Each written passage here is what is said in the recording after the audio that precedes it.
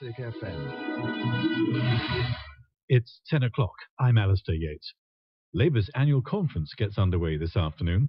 The Labour leader Ed Miliband says if banks don't separate their retail and investment arms, a future Labour government will break them up. Sky's chief political correspondent Jon Craig reports from Manchester. Labour is, will threaten to. At least 17 people have been killed in four separate car bomb attacks in Iraq. Three of the vehicles exploded in an area north of Baghdad. It's believed Shiites were the intended target. A U.S. official has confirmed that 2,000 American soldiers have now been killed in the Afghan conflict after a new suspected insider attack. A U.S. soldier and a foreign contractor were killed in eastern Afghanistan, apparently by a rogue member of the Afghan security forces. Thousands of people have marched in Melbourne, Australia, following the murder of an Irish woman in the city. The body of 29-year-old Jill Meagher was found in a shallow grave last week. A 41-year-old Australian has been charged with rape and murder. Many protesters carried placards calling for peace in society. I'm completely shattered by what's happened. It could have happened. Two police officers shot dead in Greater Manchester are among those being remembered at a memorial service for officers killed while on duty.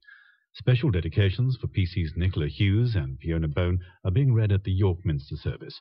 Sergeant Joe Holness from Kent set up National Police Memorial Day and explains its purpose. Basically, will ensure that the nation acknowledges it. Europe are clinging on to the United States going into the final day of golf's Ryder Cup. They're 10 6 down.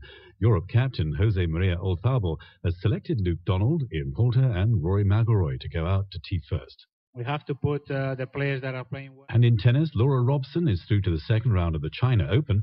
The British number one continued her impressive form by beating Japan's Kimiko Date Krumm in straight sets 6 4 6 4. The weather is next. A band of occasionally heavy rain will move erratically southeast, clearing Scotland and Northern Ireland by the afternoon. Sunny spells and scattered blustery showers following, though. Southeastern England should stay dry with some sunny spells, generally windy with a high of 16 Celsius. Classic FM, it's four minutes past ten.